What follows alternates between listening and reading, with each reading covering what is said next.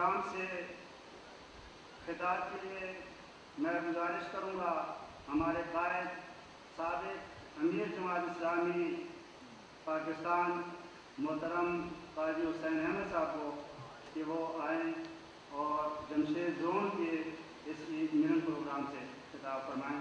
محترم قاضی حسین احمد۔ مسلمانوں کے معاشرے میں محبت پھیلانا اور اس کے اندر دلوں کو آپس میں جوڑنا، یہ ایک بنیادی ضرورت ہے محبت فاتح عالم، محبت جو ہے وہ عالم کو فتح کرنے والی چیز ہے۔ اصل جو چیز ہے وہ جو دلوں کے اندر پہنچتی ہے اور دلوں کے اندر ایک تبدیلی پیدا کرتی ہے، محبت ہے۔ ازان محترم حضور نبی کریم صلی اللہ علیہ وسلم نے ایک اللہ کے حکم سے ایک قوم بنائی، ایک آئین کیا ایک تہذیب کی، ایک تمدن کی۔ پوری جو سوسائٹی تھی اس کو تبدیل کر دیا۔ عالم انسانیت کو انہوں نے محبت کے رشتوں میں پرو دیا۔ قبیلے اور رنگ اور نسل کی تمیز کو مٹا دیا۔ انسان کو انسان بنا دیا۔ اور انسانوں کو آپس میں شیر و شکر کر دیا۔ حضور نبی کریم صلی اللہ علیہ وسلم کے بارے میں اخبار نے فرمایا، در دل مسلم مقام مصطفیٰ آبروی موز نام مصطفیٰ در شبستانی اختراع خلوت گزیر قوم و آئین و حکومت آفرین۔ از کلید دین در دنیا کشاد ہم جو عوبت میں امیدی کی نظار مسلمان کے دل میں مصطفیٰ صلی اللہ علیہ وسلم کا مقام۔ ہماری آبرو ان کے نام نامی سے ہے۔ انہوں نے حرا کی تاریکیوں میں خلوت اختیار کی۔ الگ ہو گئے لوگوں سے۔ وہاں سے نکل کر قوم بنائی، آئین بنایا، حکومت بنائی۔ حکومت بنانا، اسلامی حکومت بنانا، عدل کی حکومت بنانا۔ یہ حضور نبی کریم صلی اللہ علیہ وسلم کی سنت ہے۔ اسکلیدی دین در دنیا خوشحال۔ دین کی چادری سے دنیا کا دروازہ کھولا۔ دین الگ اور دنیا الگ نہیں ہے۔ دین دنیا کی زندگی گزارنے کا سلیقہ ہے۔ ان کی طرف سے کی طرح اس کائنات میں کوئی بھی پیدا نہیں ہوا۔ حضور نبی کریم صلی اللہ علیہ وسلم نے فرمایا، ہر قوم کی ایک عید ہوتی ہے اور یہ ہماری عید ہے امت مسلم مسلمہ کے لیے انہوں نے ایک الگ تہذیب، الگ تہوار، اور کیا شان ہے اس عید کی؟ اس عید کی جو امتیازی خوبی ہے، وہ اللہ کی کبریائی بیان کرنا ہے۔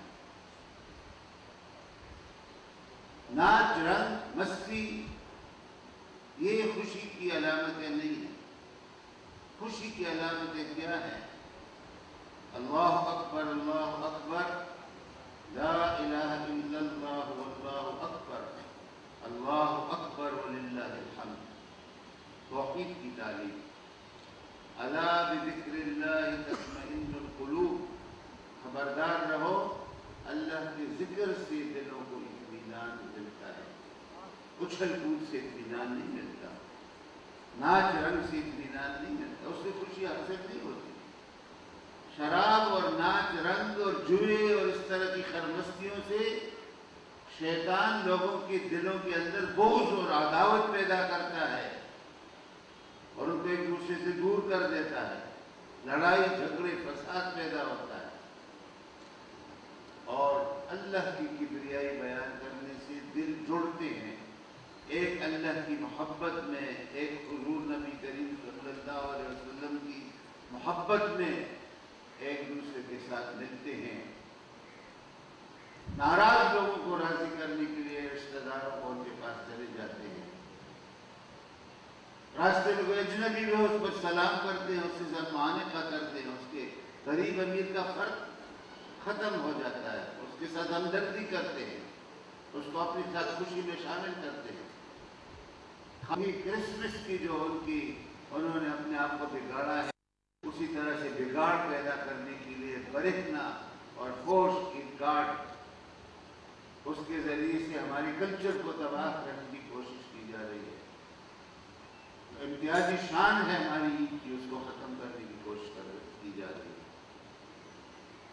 عزیزان محترم، اپنی ثقافت کی طرف آئیں اپنی کلچر کی طرف آئیں۔ حضور نبی کریم صلی اللہ علیہ وسلم کی محبت کی طرف آئیں۔ امت کا تصور۔ ہماری بگاڑ کی وجہ کیا ہے؟ ہماری کمزوری اور ہمارے فساد کی کا سبب کیا ہے؟ امت کا تصور ختم ہو گیا ہے۔ حضور نبی کریم صلی اللہ علیہ وسلم کی امت، امتی بودی، ملتی بودی، ملل گردی گئی۔ اقبال نے کہا کہ تم ایک قوم تھے، قوموں میں تقسیم ہو گئے ہو۔ یہ جو تحریک پاکستان کی چیز تھی۔ بر صغیر ہند پاک کے مسلمانوں نے مشترک کیا تھا۔